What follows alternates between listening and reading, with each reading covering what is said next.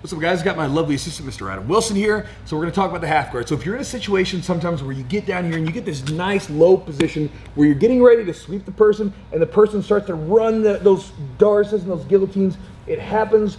Let's talk about it. So before I get into the actual specific tips with the wrist hand fighting, first thing you have to do is you have to prioritize what's going on.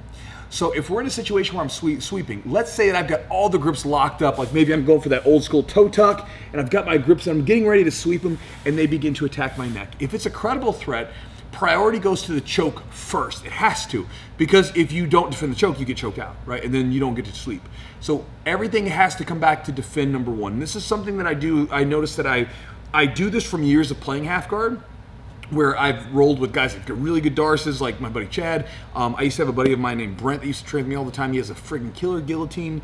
Um, and again, it's one of those things where from rolling with those guys, you intuitively learn how to do this. And I got much better because of it, because I got choked out so many darn times. So you have to prioritize everything on the choke first, and then you go back to the sweep afterwards. So like if I'm in here playing around, going for a sweep, and Adam starts to run in with a darce, my arms are going to begin to fight this, and I'll show you what the hand fighting looks like because it's a little specific. And if you haven't done it, well, it, it looks simple, but there's some details to it. I'll hand fight first. After he starts to let go, I go back to my sweep. It's the same thing with the guillotine. If he starts to go for the guillotine, I'm here defending the guillotine in the hands. Then I go back to my sweep afterwards. So let me show you what this looks like. So number one, let's talk about the darce.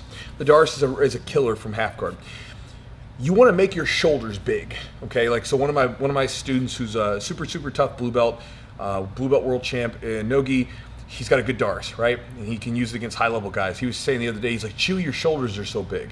And my shoulders really aren't that big, but what it is is whenever they go for a darce, I make my shoulders bigger by extending my shoulders out a little bit and even pushing my arm out because you got to think, he's got to get that arm to travel from here to here. So by pushing out, I'm making my shoulders essentially, or the space that he has to get into, bigger. So what that looks like is let's say if I've got in here, going in here, in this half guard here, we get this position. If he starts to run that darce through, immediately, as soon as I feel anything touch the back of this tricep, like right coming around here, I know exactly what they're going for. They're going for a darce setup, so it's no question to me. So there's that's sort of a physical cue that I look for. So what I'll do is I'll begin to flare my elbow out, and if I can, I'll grab this wrist because I can use this for sweeps, like a, a regrip here or anything like that. But if nothing else, by even just doing this, where my elbow's out, try to shoot that darce through, super difficult right? Again, it's a timing thing. If I do this late, it's going to be a problem.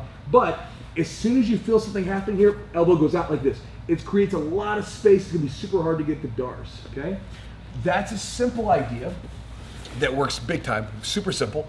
It's a timing thing, so you've got to be like ready for it. So if you have someone in your gym that goes for darces on you, just be ready for it. And as soon as they do that, pull that elbow out and you can either regrip and sweep or you can at least just keep it out of there. And if you do get the regrip, push their hand down by your stomach to get it away from your neck. Now, the next one on the guillotine, which is another common one that you can run into with the uh, the half guard, and it's problematic because if we get into a situation where they do get a guillotine bite on my neck and I sweep, it really doesn't put me in a good position here. Okay. So guillotines, in most cases, at least for me, especially in that position, it's going to be all about hand fighting. So instead of just sitting there and allowing the person to come around my neck, as soon as I feel that hand getting around my neck, both of my hands are going to come up to fight. I could sometimes keep one on like a grip that I'm fighting, but in most cases I'll bring both hands to fight. Now, the hand that you grip, it can be important sometimes, but for me, if you can just get one of them and get it away from your neck, they can't join their hands together to get the finish. So let's say that we're going here. Let's turn this direction. So we're like this. He starts to go for a guillotine. As soon as this happens, he, like where he's going here, he'll go over top with the other hand or whatever. I'm gonna start to bring my hands back here in front of my face. Now, just like the darce, by pushing my elbow out, I make a lot of space and I make it harder to get to the neck. Now, in some cases, if he tries to go for the guillotine, I can regrip just like we did earlier with the darce. Okay, if nothing else, by pushing my elbow out, going over my neck, it can be really hard, and I can peel this grip off my, my neck here, and I can just hold on to it. Eventually, he's gonna have to readjust. Okay, So again, now we're combining, basically pushing out like this to make sure it's harder to get back there, and then fighting the grip off the neck. And a lot of times you can get two on one, hang on to it, and then once in both situations, let's say once they let go of the chokes and they go for something else, that's when we can go for the sweep. So it's a really simple idea but I've gotten asked these questions multiple times on the channel, um, and I, have seen this happen a lot with my students, and I watch tournaments and stuff like that. I see a lot of half guard players at the lower division struggle with this, where you're going for a sweep and someone's shooting chokes on you. Uh, usually, darce and guillotines are the common ones. If that happens, one, think about making your chest and your shoulders big by pushing your elbows out and making the space that they have to go to connect their grips together bigger. And then also, if you're especially guillotines, double up on a grip on the wrist, right? If you can get two hands on a wrist or the hand, it's huge. It's, it's big time because again, he's gonna have to join his hands, and if he can't do that, he can't finish the choke. And so that's the idea. So hopefully that's helpful to you guys. Hopefully that's helpful to you if you're a half guard player out there that needs some tips to not get choked. I'm finished. Adam?